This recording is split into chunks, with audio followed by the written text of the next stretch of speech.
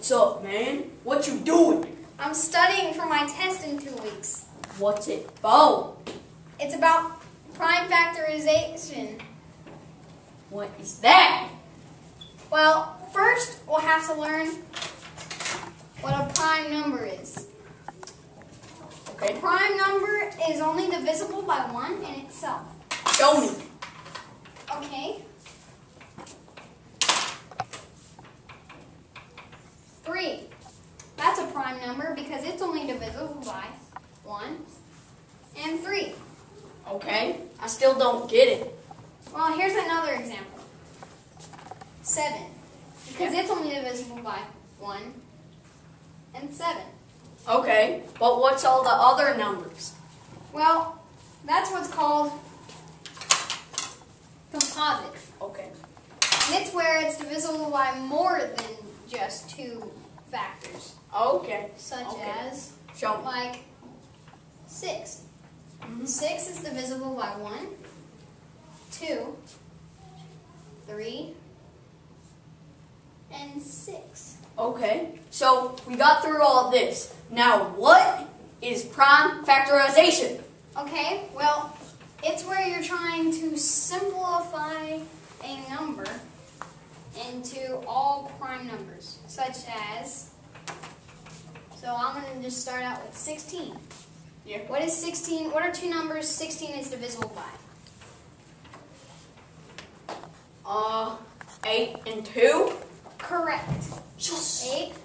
8 and 2. Now, which one of these is prime? Uh, that one. Right. So what is 8? What are two numbers 8 is divisible by? 4 and 2. Right. Four and two.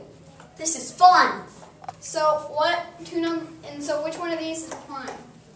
Uh, and that one? Yeah, correct. So four is what? 2 and 2.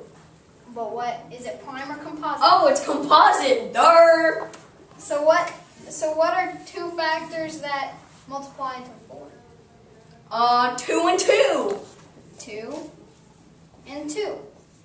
Okay. So two times two times two times two is the prime factorization. Yeah, But an easier way to write it yeah. is 2 to the fourth power. Okay, can I try it? Sure.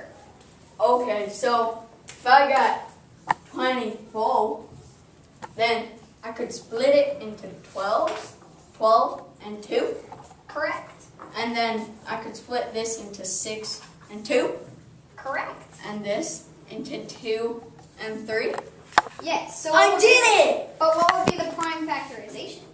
Uh, 2 times 2 times 2 times 3, also known as 2 to the third power times 3.